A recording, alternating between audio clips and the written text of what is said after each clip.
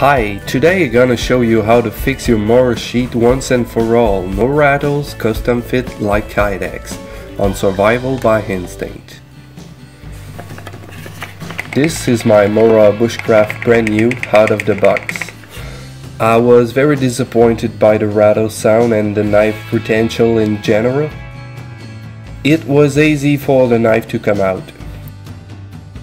I used a heat gun like this one to melt the plastic so I can shape it on the handle.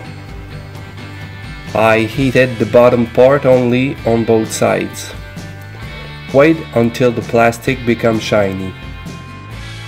I used a vise to pinch the sheet and waited until the plastic was hard again. This is what you get, a sheet molded perfectly to your knife handle.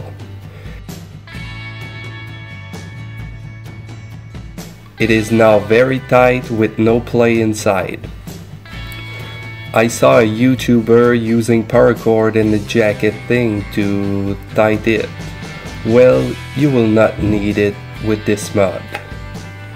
The good thing about it is that the retention will not wear off over time.